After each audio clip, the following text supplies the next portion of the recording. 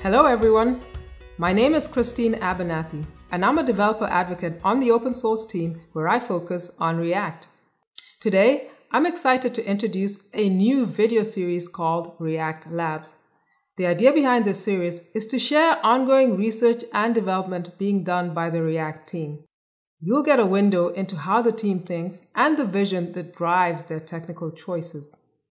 React Lab videos can sometimes contain advanced content, so it is not required watching to know about React. The best resource to know what's going on with React is to read the blogs.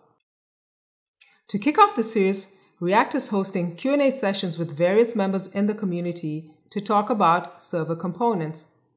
The team recently introduced server components to share an update on a project that they had been working on and to get community feedback. I've included a link to that announcement in the description below.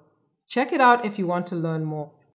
The first React Labs video on server components will be going live right after this introduction. If you find these interesting and helpful, be sure to let us know so we can plan for more. Don't forget to subscribe to our channel so you don't miss out on any technical deep dives that we share in the future. Thanks for watching. Bye.